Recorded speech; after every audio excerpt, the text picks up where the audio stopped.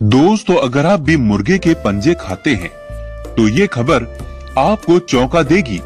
लग सकता है आपको ज़ोर का झटका।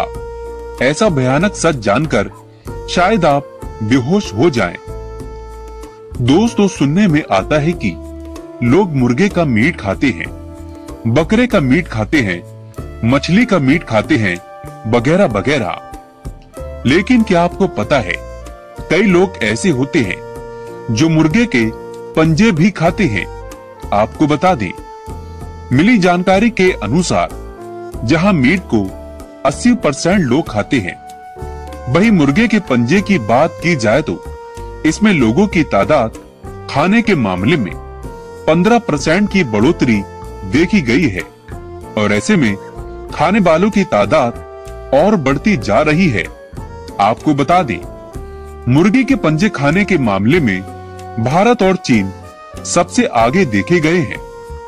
लेकिन क्या आपको पता है, मुर्गी के पंजे खाने वालों के लिए ये खबर झटका ज़रूर दे सकती है। तो चलिए जानते हैं।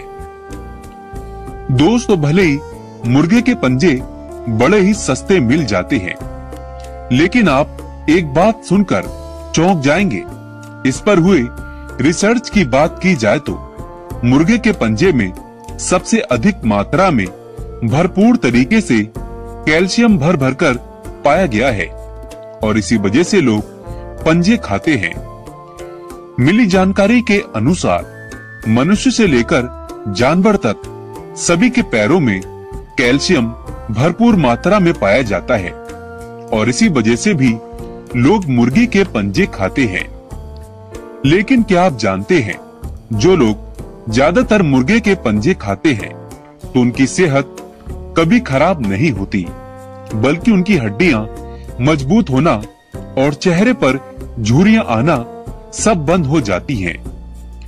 मुर्गे के पंजे खाने से शरीर में अधिक मात्रा में गर्मी बनी रहती है अगर आप सर्दियों के मौसम में इसको खाते हैं तो आप बड़ी से बड़ी ठंड से बच सकते हैं वहीं अगर आपके पैरों में दर्द होना घुटना कमज़ोर होना एड़ियों में सूजन आना हाथों में दर्द होना आदि।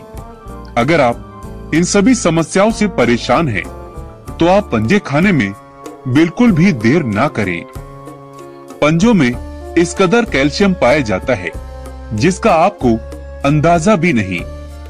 एक्सपर्ट की माने तो जब तक आपके शरीर में कैल्शियम की कमी है तब तक आप कामयाबी नहीं उठा सकते, क्योंकि कामयाबी मेहनत से ही आती है, जो कि कैल्शियम के द्वारा इसीलिए मुर्गे के पंजे खाएँ और अपनी सेहत को तंदुरुस्त बनाएँ। तो दोस्तों, धन्यवाद